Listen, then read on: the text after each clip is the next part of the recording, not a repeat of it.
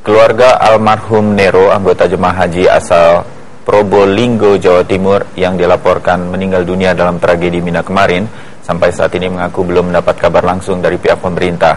Reni Ramhawati, putri korban, mengaku informasi pertama yang diperoleh keluarganya adalah dari rekan satu rombongan haji ayahnya. Reni, eh, apakah sudah ada pihak dari pemerintah dalam hal ini uh, Kementerian Agama atau siapa pun yang sudah berhasil menghubungi pihak keluarga Reni karena dari Kementerian Agama sedikit kesulitan untuk menghubungi keluarga Reni. Dari Kementerian Agama masih belum ada pemberitahuan. Hmm. Ya, kalau ke, kalau kemarin ini tadi malam mbak saya cuma dapat informasi dari call center. Dari call center mana informasinya, Mbak Reni? Call center yang dari Mekah. Oh, langsung dari Mekah ya. Jadi ada pihak pemerintah di dalam hal ini yang langsung dari call center di Mekah sudah menghubungi. Kan dari informasinya tidak masih belum menginformasikan bahwa nama ayah saya sudah terdaftar. Hanya menanyakan bahwa apakah nomor yang dihubungi adalah salah satu dari korban yang menyebutkan ada beberapa korban yang sudah disebutkan dan uh, korban terakhir masih belum teridentifikasi. Jadi hmm. kakak saya memberitahu bahwa nomor yang dihubungi oleh call center itu adalah nomor kakak saya, yakni putri da, putri pertama dari Bapak Nero.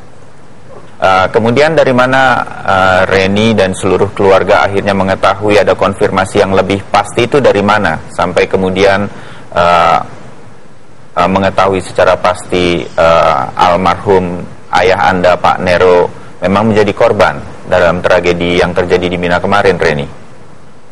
Kami mendapat uh, mendapat kabar dari salah satu teman teman Bapak yang memang satu rombongan, uh -huh. yakni Bapak Bapak Hartono, kalau saya tidak salah, Bapak itu memang setiap harinya selalu mengasih kabar Rutin mhm. ngasih kabar tentang keadaan di sana. Terakhir kami diberi dikirimkan foto foto terakhir Bapak. Hmm. Reni, apakah sudah mengetahui juga saat ini bagaimana kondisi ibunda yang kabarnya juga mengalami luka-luka dalam insiden di Mina?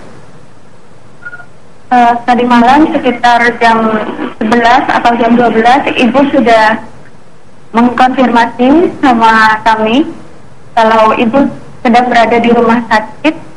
Dan sebelum itu ibu memang sejak berpisah dengan bapak sejak bapak di dibawa ambulan ibu menunggu ambulan selama lima jam dan duduk menunggu.